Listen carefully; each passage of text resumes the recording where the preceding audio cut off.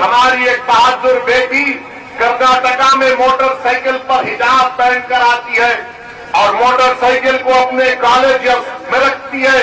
तो जैसा ही उसके करीब ये तमाम लोग आकर उसको डराने के लिए नारे मारते हैं एक पच्चीस तीस का नौजवानों का हुजूम इस नफाब बुरखा पहनी हुई बच्ची को डराने के लिए दौड़ता है। मैं सलाम करता हूँ इस बेटी की बहादुरी को मैं सलाम करता हूँ उस बच्ची के माँ बाप को जिसने उस बच्ची को इतना बहादुर बनाया। ये आसान काम नहीं था।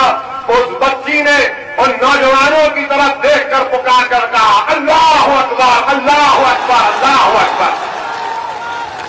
ये मिजाज पैदा करना है।